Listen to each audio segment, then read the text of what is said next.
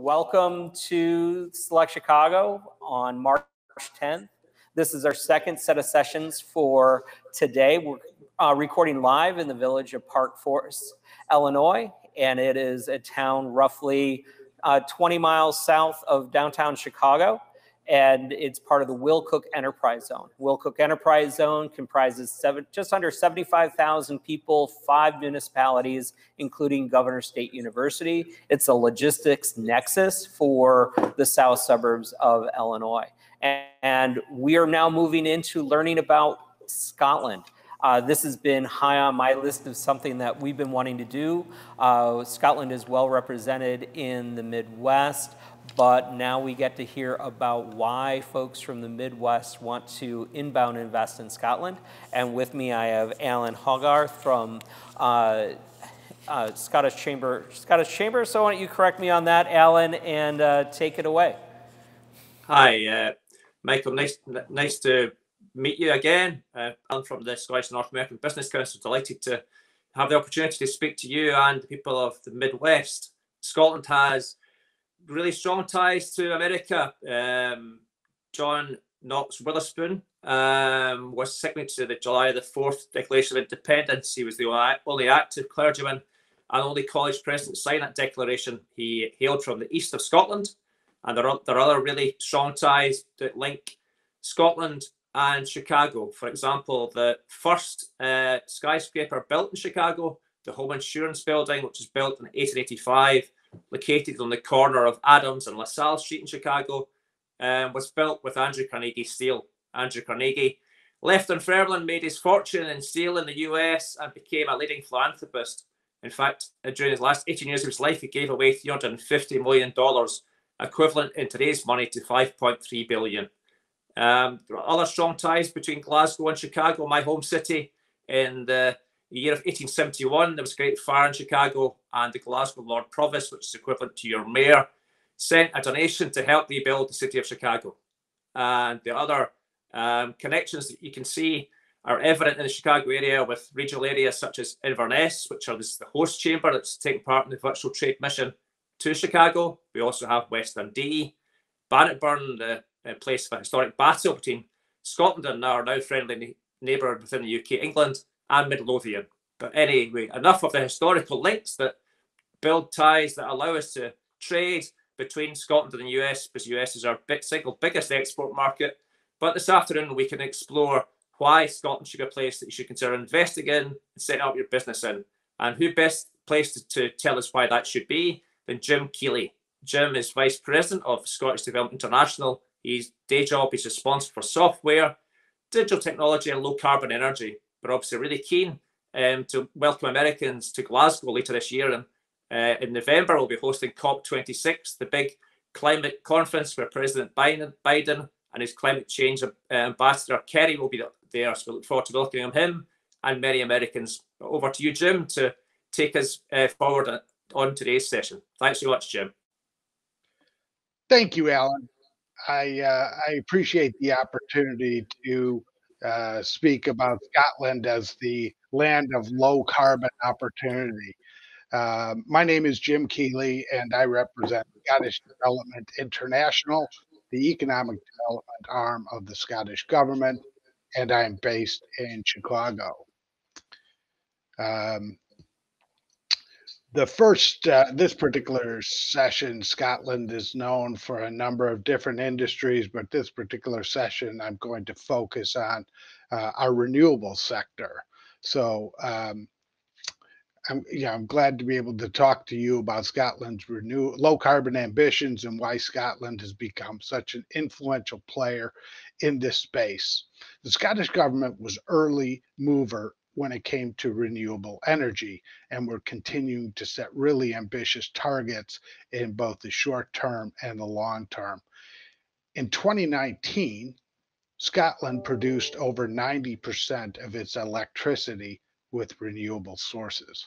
And we're confident that in 2020, the numbers, when they are published, Scotland will have moved that number to 100%, which is a big deal. Uh, that's the short term. In the medium term, Scotland is aiming to meet 50% of our total energy demand with renewables by 2030 and will phase out the sale of diesel and gasoline fueled cars by 2032. In the long term, we've set the target date for a net zero emissions of all greenhouse gases by the year 2045.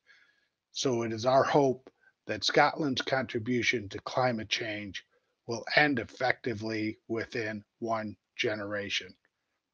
Right now, onshore wind supplies most of the clean energy that Scotland produces. But increasingly, we're seeing sources from marine energy and offshore wind taking more and more of that, uh, you know, producing more and more clean energy. Scotland is home to the world's first floating offshore wind farm, and incredibly, 25% of Europe's entire offshore wind resource crosses the seas around Scotland. So hopefully that demonstrates not only uh, the ambition that Scotland has to combat climate change, but also the natural resources that are making these ambitions possible. As far as energy storage and low carbon transport, which is uh, you know what I'm going to focus on in this uh, session, um, it, I wanted to highlight how quickly we're prioritizing you know areas of energy storage and low carbon transport. Don't worry, I won't go through all the details on this particular slide, but I would just point out that the development of hydrogen related projects is a growing priority in Scotland and that the Scottish government is dedicated to developing a supply chain for battery storage and scaling up the production of batteries in Scotland. As Alan mentioned, uh, COP26 uh, is scheduled for Glasgow uh, the first two weeks of November of this year. Um, it's a really important event, and uh, we're really promoting you know, the COP26 event in Glasgow to, you know, our prospects as well as our existing inward investors. COP26 is the UN's 26th climate change conference, and it will be held in Glasgow in November. And we're really excited to work alongside the UK government to help host this event we want to take advantage of this opportunity to highlight not only what Scotland is doing as a country to enact, you know, uh, com, uh, uh, clean energy solutions, but we also want to highlight what Scottish companies and what foreign based companies are also doing to build that net zero future in Scotland. It will be a global platform to promote the progress that companies are making, and I'm optimistic that by November, it will be safe for people to travel to Glasgow to take part in the event. So, if you weren't aware of Scotland's role in this area, I hope this has been helpful. But the truth is that we need help to reach these goals. And so we're inviting companies that are in growth mode and contributing to some of these low carbon solutions to come to Scotland and help us solve these issues. Despite its modest size, Scotland is very well connected to the rest of the world. It boasts a fantastic quality of life. And for those of you who have had a chance to visit Scotland, I think you will agree that it's a beautiful place to live and to visit.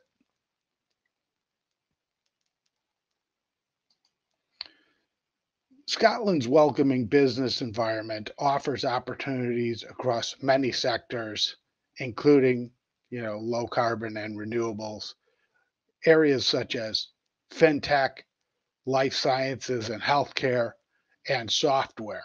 So again, this particular session is focused on low carbon and renewables, but certainly there are opportunities in other sectors that we welcome the chance to speak with companies about.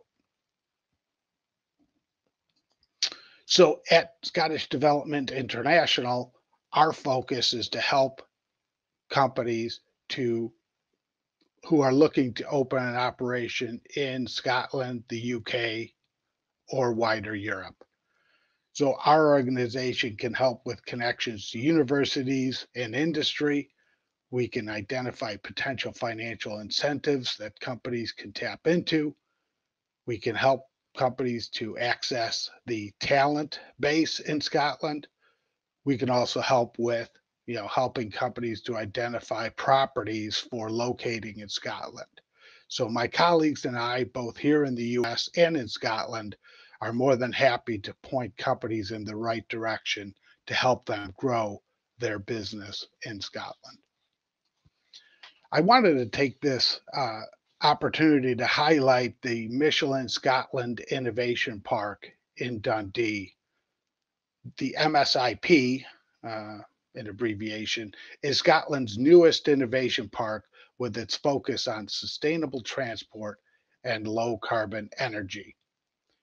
The MSIP in Dundee consists of 990,000 square feet of factory space over an 80 acre site, and it includes 37 acres of undeveloped land. So, this particular site uh, offers an opportunity for the next generation of innovators in sustainable transport and low carbon energy to set up quickly and grow in Scotland, the UK, and wider Europe. The mission of the Michelin Scotland Innovation Park is to build a dynamic and creative home for innovators, manufacturers, and skill leaders to collaborate and nurture growth and advances in sustainable mobility and decarbonization. So this is the MSIP, uh, the Michelin Scotland Innovation Park. The Michelin Scotland Innovation Park was formerly a Michelin tire production facility, and uh, Michelin handed this particular facility over to uh, Scottish Enterprise and the Dundee City Council, and uh, with the help to develop this particular site into a world class uh, innovation park. So the MSIP is fully operational and ready to welcome tenants, researchers, and educators.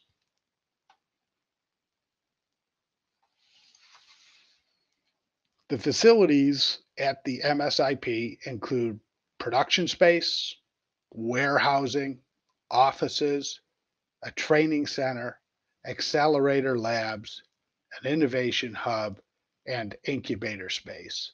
So it has all of the amenities that growing companies are going to require as they uh, develop new technologies or new solutions to address climate change. So this particular slide references the green and sustainable energy that the MSIP currently uh, deploys. So uh, you know, true to its objective of helping lead the way to a sustainable future for Scotland, the MSIP generates most of its energy from sustainable sources such as wind, energy from waste, and solar. So companies that locate in the MSIP will truly be uh, taking on the uh, combating climate change uh, at the MSIP because again, most of its energy is generated by um, renewable or sustainable sources. So uh, thank you for your time today. I welcome any questions during the Q&A session. Thanks, John. Hi, everyone. It's um, Alistair Gunn here, um, and really appreciate um, the, the time for being invited to today's session. As I say, I'm Alistair Gunn. I'm the kind of head of business for the Glasgow City Innovation District. And today um, I'm going to kind of you know, take everyone know, know, through what's happening within the technology sector in Scotland and then kind of you know looking at all the kind of latest kind of developments but also then kind of provide a bit more focus on um, innovation districts and especially those within kind of glasgow so as I say, you know, for, for many of you, you know, you may know that um, you know, Scotland has got a, a, rich kind of history on you know, kind of innovation and technology development. And it's one of the things which um, you know, over the know, certainly the kind of you know, the last you know, 10 or you know, even 20 years um, there's been obviously a, a strong um, development within that sector. Um, but also something again that um, the, the, the country is very much open and inclusive for you know for, for that kind of development. One of the things which um, you know Scotland is you know kind of famous for is that innovation, and this kind of um, you know kind of slide you know just shows some of the um, activity that's taking place in and around Scotland. And I'm kind of going to going to go through just some of that kind of um, kind of activity. So I mean, these are all developments that are actually taking place across Scotland. You know, from Aberdeen, where we've got what's called a, an innovation centre called SeedPod, which is focusing in on food and drink innovation. You know, through to um, the, the expansion of the BioQuarter over in Edinburgh which is kind of associated with um, Edinburgh University. There's a new national robotarium being created, again, just on the outskirts of Edinburgh, and that's going to be developed, you know, kind of focusing in, in the kind of robots and also kind of linking to that, the kind of conversational kind of AI one of the other areas that's happening is there's a lot of development that's going on across a lot of the universities, and um, the Futures Institute is also another kind of development that's taking place. Now, the Futures Institute is actually the old hospital in Edinburgh, which was um, right beside Edinburgh University, and that's being developed, you know, as I say, you know, for areas focusing in on artificial intelligence and how you apply that artificial intelligence into kind of various kind of markets. Within Glasgow, um, we've also got, you know, one of the things that um, Glasgow has had a very, very strong history on is actually within engineering. Uh, excuse me. and within that engineering, no, no. Many of you may remember know that um, Glasgow was one of the the, know, the, the world's know, largest kind of shipbuildings, um, shipbuilders, um, and producing quite a lot of the main kind of ships um, know, that sailed to kind of the world. Nowadays, that expertise is now being channeled into the kind of manufacturing, and this is where you know, we've got the advanced manufacturing in, um, innovation district being set up over beside Glasgow Airport, and also um, you know, the, the, the the National Manufacturing Institute, which is again is looking into you know advances into kind of forming and um, kind of manufacturing related to that. So one of the things which um, you know has been um, has been focused. Um, one of the things that's happening is you know Scotland is is very much ramping up its focus on technology development. And this kind of um, kind of slide just provides you a bit of the insight into what's kind of happening across there, both across policy level um, as well as um, innovation centres. So I just kind of want to kind of go through some of these kind of particular kind of areas and talk a bit more further. Further, so um, in the next couple of months, um, you know, Scotland's going to be bringing out its own AI um, strategy, which is a policy document which is going to support um, organizations and business when they start developing um, and implementing AI you know, solutions into various kind of marketplaces. And that's going to be giving guidance um, for companies who are looking to innovate on how to then adopt and also deploy that. We've also got um, programs like CivTech, which CivTech was set up by the Scottish Government to support the you know, digital transformation of public services.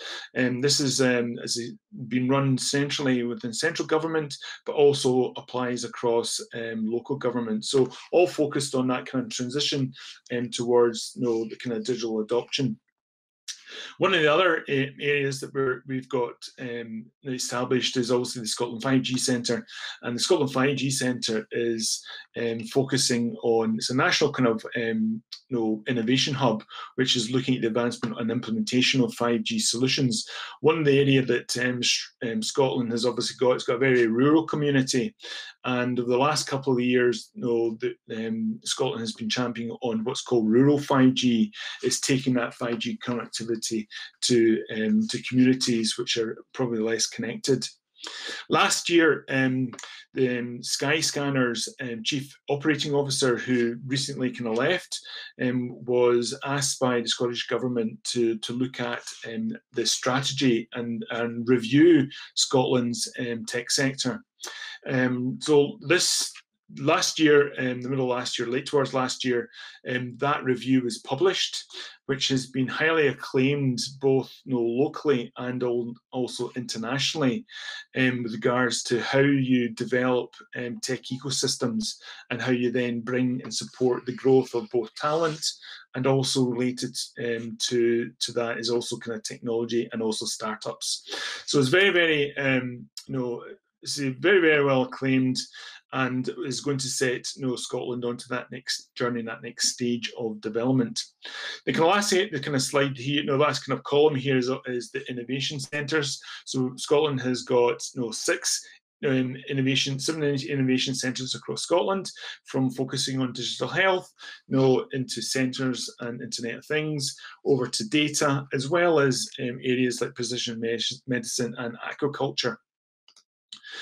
So that you know, all that kind of you know, um, we say kind of policy development and that kind of strategy, which has been set both by industry as well as um, kind of government, is also kind of leading into kind of that kind of growth.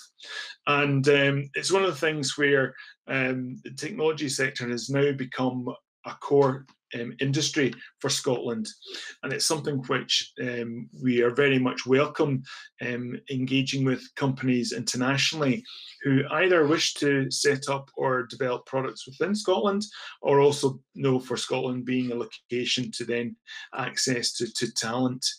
And this again just kind of shows the fact that you know one of the things where Scotland has had a, has been um, famous on is obviously kind of you know, through the oil and gas and the kind of energy sector, but that's now kind of changing. Um, and as kind of Jim kind of highlighted, that transition over to renewables is now a kind of key aspect for Scotland, and um, linking into that into kind of COP26.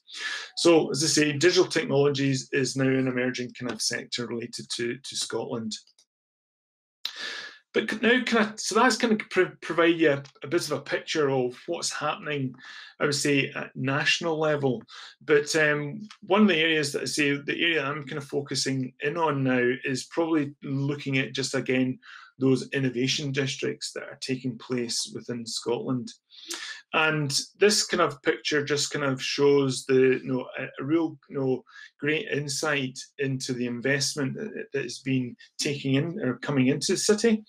And um, one of the things which is you know is just you know obviously is it was announced several years ago was that Barclays um, you know bank um, are actually you know investing into you know right into the heart of of Glasgow, and that investment is you looking and is now kind of creating a, campus on the south side of the River Clyde, which um, goes right through the heart of Scotland, uh, through the heart of Glasgow, and this kind of just shows you an image of that regeneration that's taking place.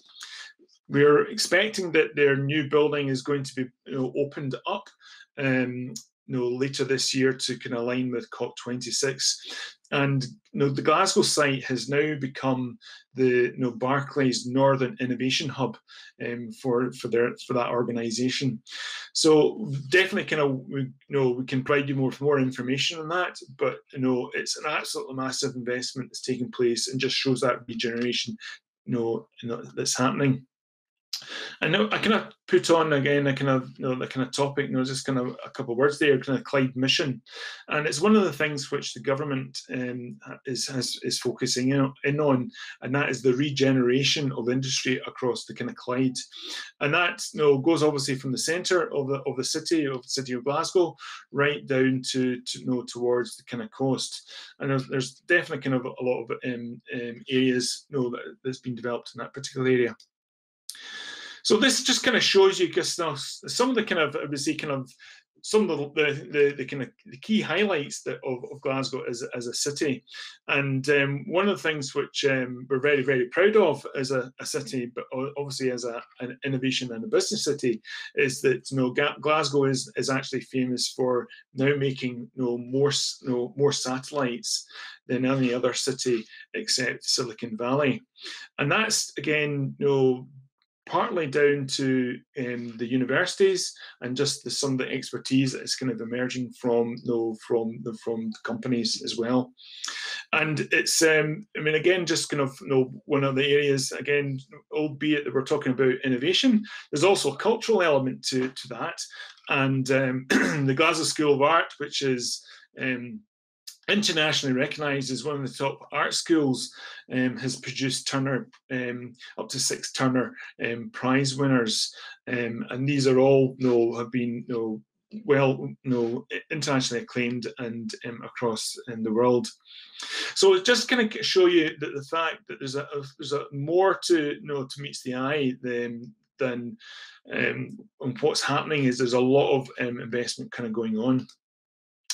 But I just want to kind of go down into, I mean, I talked about the kind of Clyde mission, and the Clyde mission is, say, um, is is a regeneration program that's been funded by the Scottish Government, which again is looking at investment in across the kind of city and also down the kind of coast. And these are four areas that, um, four um, aspects that are happening. I covered some of these earlier, but I'm just going to start focusing in on innovation districts you know, so Glasgow has actually got three innovation districts. The Glasgow City Innovation District, which is the one I, I head up, and we've also got the Glasgow Riverside Innovation District, which is um, managed by Glasgow University, and also you've got the Advanced Manufacturing Innovation District in Scotland. The Glasgow Riverside Innovation District is kind of more focused on kind of medicine and and health, and also um, is looking at um, nanofabrication within advanced manufacturing is, is focusing on, on manufacturing. And within the Glasgow City Innovation District, we're kind of looking at areas of 5G, quantum, health tech, and, and also space. I'll come on to that in a minute. So as I say, um, Glasgow City Innovation District um, was set up and established you know, several years ago, and is actually the first innovation district in Scotland. Um, and one of the things where, albeit that we talk about innovation kind of business, there is another aspect to that, and that's obviously kind of the, the living aspect and the, the, the what we call the place agenda. And that's um, an area where, you know, you know, where we're trying to kind of create this, you know, kind of vibrant, um, you know, place for for both um, for people, for tourists, um, but also for businesses, where we're kind of looking at that kind of, you know, that kind of combination of that kind of live, work, play, and innovate environment. It's centred within the Merchant City, and for any of you who've been to Glasgow before, the Merchant City is the you know is Glasgow's cultural and kind of creative um, hub within the city, and is very much you know kind of um, is anchored by um, the University of Strathclyde. So that's the thing that is again, you know, one of the kind of key aspects when when any company is kind of looking is um, the fact that um, you know, location is a key a, a key area um, for companies, and within the the district, um, the, we're very very close to the airports, and also that it's right in the kind of centre of the kind of city. So this innovation community that we're kind of creating um, is anchored by University of Strathclyde, and the, the university has invested up to 90 million pounds in what's called a technology and innovation centre, and that is bringing together quite a you know, a, a, kind of vast ecosystem of both um, industry and you know startups and SME businesses. And aligned to that, also there's also within the district space for businesses to to to establish themselves, and that's where again, you know, we've got places like the the garment factory and Tontine um, building, which is a kind of startup kind of um, incubator. So just kind of showing a, a, a few kind of um, kind of brands um, of who are actually kind of in here. You know, we've got the likes of um, Ernst and Young, EY, who are obviously the kind of international consulting organization, right through to the likes of Rolls Royce and also kind of um, Pfizer, who are all kind of located within the buildings that you know surround you know, you know the university, and also that then kind of creates that um, open um, innovation, you know, kind of collaborative innovation kind of um, network, which is a key aspect to, to, to, to, the, to the growth within the city and that kind of just I've talked about earlier with regards to just some of the kind of clusters. So the University of Strathclyde has got the within you know this kind of the TIC zone, and are focusing in on you know the kind of 5G, quantum, health tech, fintech, industrial, and space. But one of the other um, areas which we're now starting to look at is with COP26 now coming to Glasgow later this year. As Jim kind of highlighted, you know the climate, um, technology, and climate is really high up in the agenda. So what, one of the things which um, we've identified is the, the, university and also the kind of zone has had three, um, you know, kind of obviously kind of you know core markets that it's focused and has been built on, and energy is one of those, and that's now going to start evolve very very quickly quickly into another kind of seventh you know kind of cluster, which will kind of focusing in on climate tech. So again, linked in, into this, entrepreneurship is is at the heart of everything that we do in Scotland, and um, within within the Glasgow City Innovation District, and also within University of Strathclyde, we've been the first university to actually in Scotland to actually launch um, the you know um, their entrepreneurship strategy, and that strategy is is obviously called in Strathclyde Inspire. And that kind of brings together, you know, quite a wide network of people related to investors, um, also kind of interested partners, also kind of welcoming alumni back, but also then kind of helping and supporting um, you know, the kind of emerging kind of startup companies to kind of create and start new businesses. So, as I say, finally, just want to kind of um, kind of finish up and um, you know, again, kind of looking at you know why should companies come to to Scotland and also dare say kind of Glasgow. Um, and one of the things which is um, I was saying a kind of key aspect is obviously the talent and culture um, that we've got, and and that's something which you know Glasgow is very much you know renowned for is having that inclusive culture um, for for people who wish to kind of come to the city, and we're very much you know looking at various um, options at the moment to support um, people who are looking to kind of set up. And that's also the kind of the, the visa schemes are now there um, and, and, and open for people to be able to kind of um, you know pick them up and, and include them and, and start that.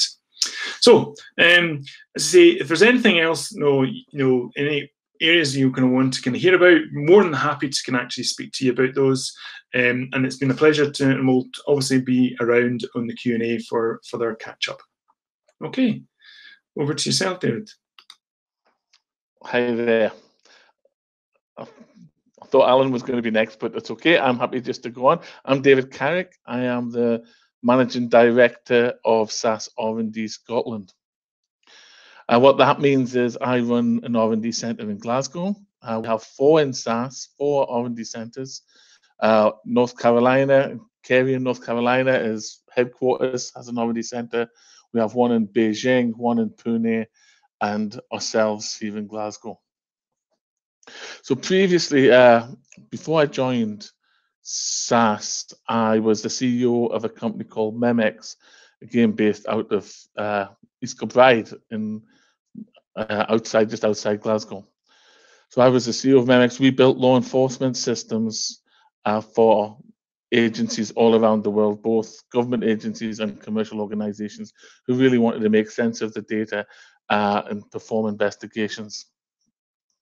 Uh, I joined them going quite a while, quite a far bit back in 1990. And I joined as a software engineer, so I'm a, I still like to think of myself as a technical person. Uh, in 2000, I got myself in a position where I led a management buyout of the company uh, and took it private. And we had, I think, 25 employees at the time. We raised investment for everywhere we can, and the Scottish Enterprise, uh, to the credit, also invested and provided some loan funding to Memex back in the day over the next few years, we built up Memex into a you know a good international business. Uh, so by 2010, we had over 110 employees uh, with offices in, in East Kilbride, uh, Washington D.C., and Los Angeles. And half our revenue actually came from the U.S. Uh, by 2010. So, like I say, it was an international business. Then SAS came along and, and bought us in 2010. Uh, SAS are what I still think they're the largest private software company in the world. And at SAS, we build a number of uh, products which really give our customers insight into their data through analytics, AI, and machine learning. Uh, so again, they liked what we were doing in, in the law enforcement space, and it was an area that was very interesting and still is very interesting to the company. Uh, people ask me why did why did SAS buy us, and clearly we had a good customer footprint in the secure security business. Uh, we had good knowledge of that business through all our people, not just the salespeople, uh, or you know, but from everyone in the company understood the, the marketplace really well. And you know, it all really comes down to really our people uh, and how you know the sort of talent that we've brought in at Memex over the years and continue to do in SAS. I say that because you know since that time, I think there's something like seven or eight of folk from Glasgow have moved into senior positions uh, throughout uh, the you know company uh, throughout the world, which is fantastic. So uh, 2004, so 2010 we were bought. We're still based in East Kilbride, but then we wanted to move into Glasgow. You, you heard Alistair just there talking uh, a lot about the access to talent, and that was our recruitment strategy. Uh, we predominantly built up our team through hiring from the universities, which, uh, you know, again, the guys have already said we've got fantastic universities in Scotland uh, and especially here on the west coast with both Glasgow, Strathclyde, West of Scotland, Glasgow, Cali, all providing some real top talent. At the time, we had uh, 50 people in R&D. I now have around 110. Uh, so you can see SAS is clearly invested in, in our in our business here. But we've kind of gone away from just working on the one Memex product. And I think this is testament to the sort of people that you can get in Glasgow and in Scotland.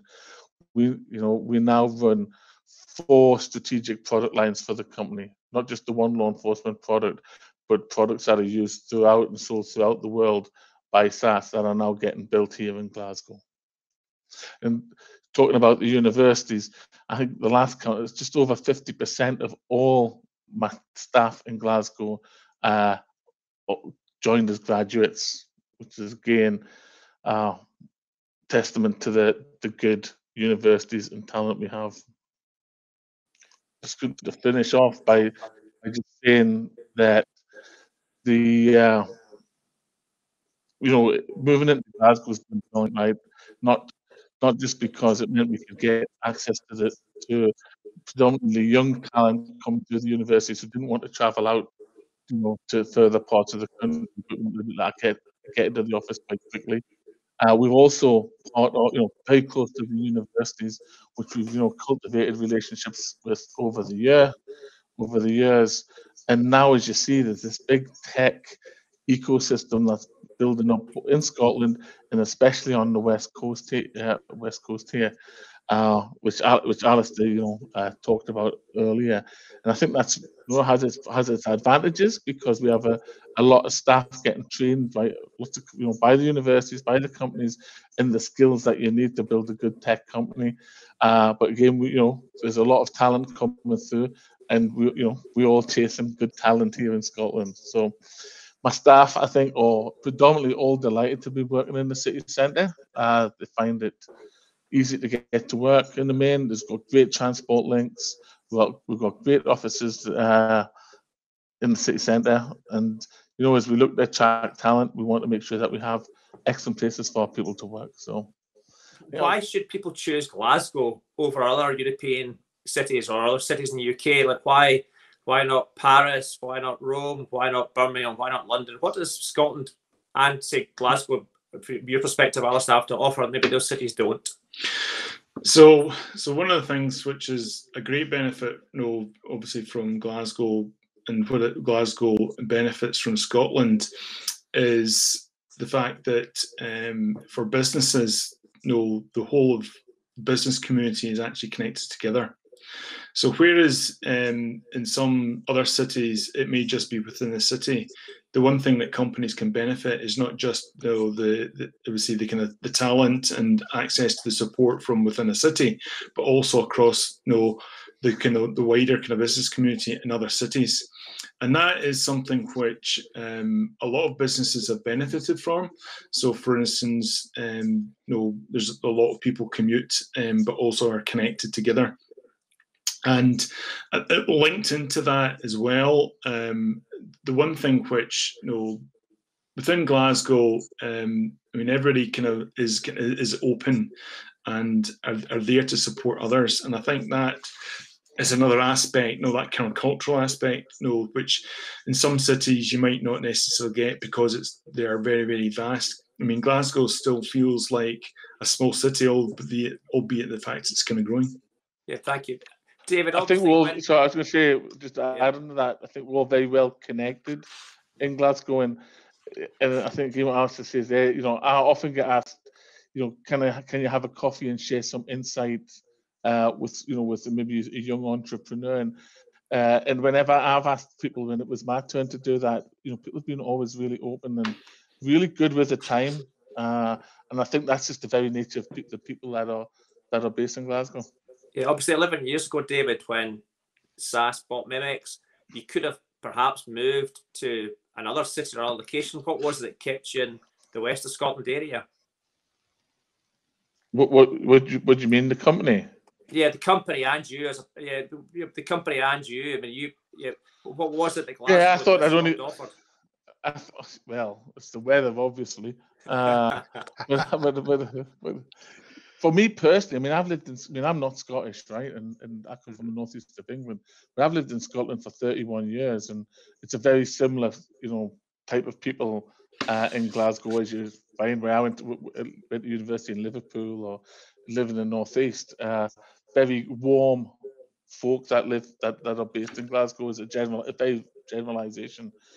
But you know, I thought I'd only stay with, with the company for a couple of years, but I think the company realized quite quickly the talent that we have here is exceptional. And, and i'm not you know i'm not just you know embellishing that. That that's really true. I've you know i think i've had seven or eight of people have moved into really good roles within the company as well because we bring in good talent and bring it and, and bring it through. And i, I think we the, the, people we bring in mature very quickly. I think we have i think the universities are bringing some really good students through, right? That you know, I, I look and think when I graduated computer science in the dark days, uh, they, they were, you know, not not close. I mean, I'm not close to how talented some of these kids coming through are now, right? Sure. And uh, you know, Thank, interns, anything. Sorry. Um, yeah, Jim. Obviously, you spend your days uh, trying to sell Scotland to largely Americans. You're based in the, the British consulate in Chicago.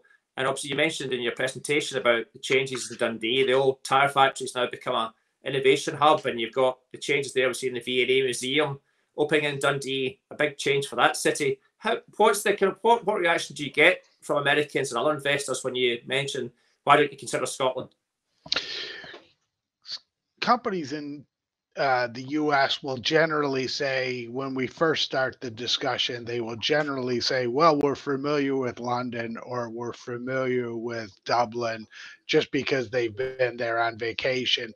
They most likely have been to Scotland on vacation as well, but you know, those two locations really kind of uh, are the first thoughts that come to mind. But when you start to talk with companies about, you know, the benefits that Scotland can offer in terms of quality of life, in terms of, you know, being able to attract highly skilled talent. And to be honest with you, the talent that works in Scotland likes to stay in Scotland. They're not interested in traveling, you know, down to London or traveling elsewhere, you know. So, companies that I speak with who have invested in Scotland will generally come back to me and say, you know what, we're really amazed at the, you know, kind of longevity that our personnel here in Scotland have because elsewhere we're fighting for talent against you know other companies and the team in Scotland is not only world class but they like they like where they live and so Sure. we really try to promote that Thanks, Jim. Alistair, obviously, from your experience of growing a, a tech firm in Scotland, what's the environment like in terms of trying to track investment? Because obviously, that's one of the key things that business will Yeah. consider as a location. What's the venture capitalist environment like? How can they find funds to grow their company?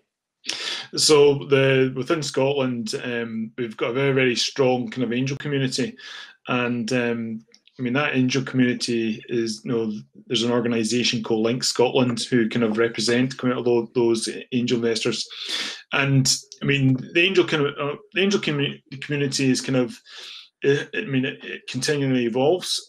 Um, and what we're starting to see is where you know there's been several um, large tech companies who have either moved or shifted into um, out onto the kind of stock markets, or other ones that have been acquired. So, for instance, um, the founders of um, Skyscanner, which obviously um, you know was acquired by kind of Ctrip.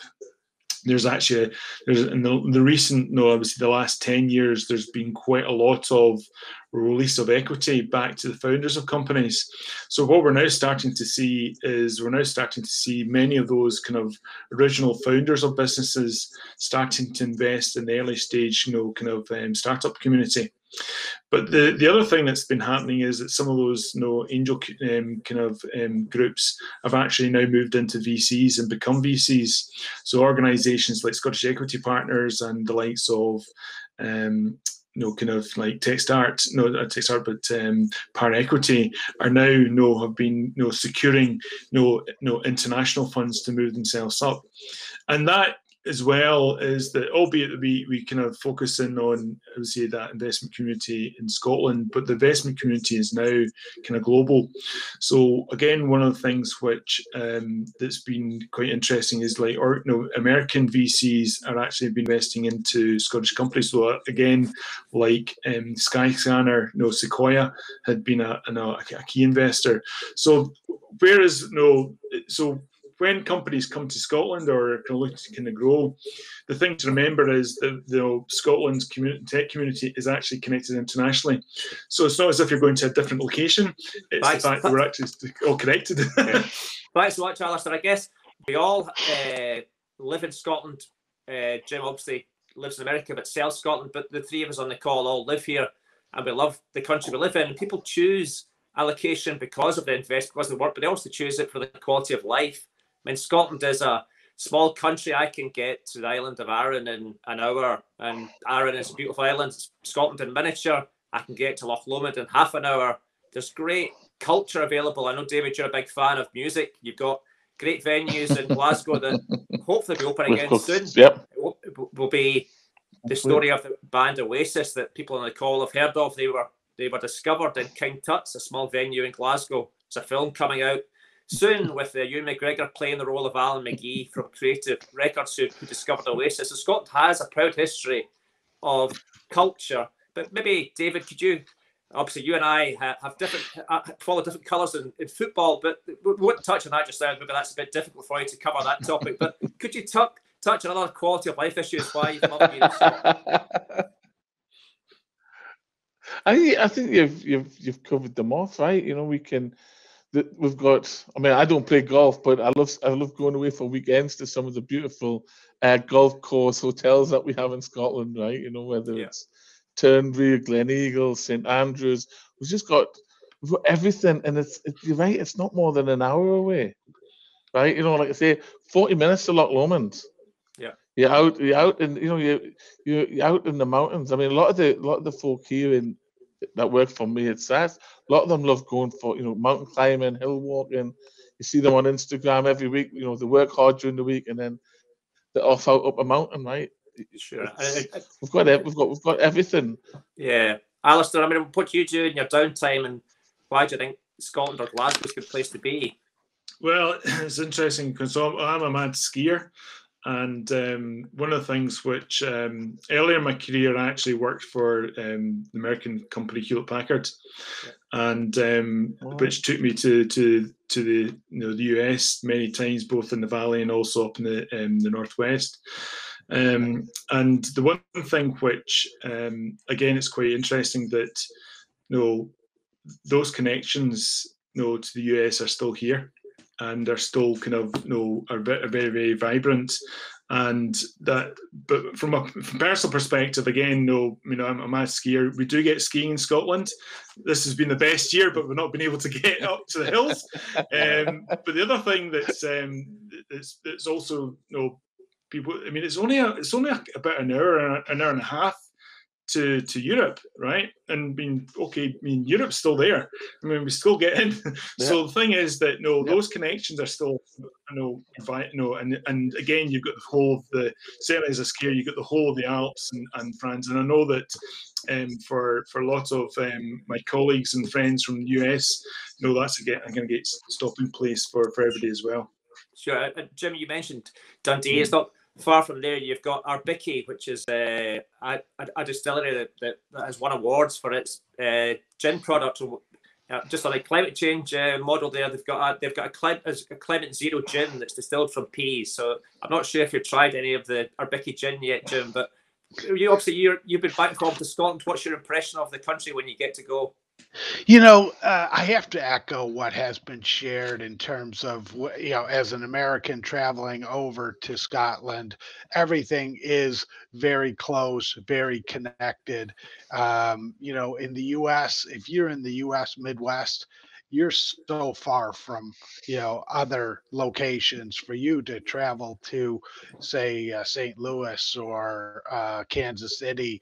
Yeah, that's a day trip, you know, I mean, in terms of whereas in you know, 45 minutes between Edinburgh and Glasgow, you know, another 45 minutes from Edinburgh to St. Andrews, or, you know, so in terms of the access to the major locations in uh, Scotland, which are kind of focused on business, eh, you can't beat it in terms of co- connectivity.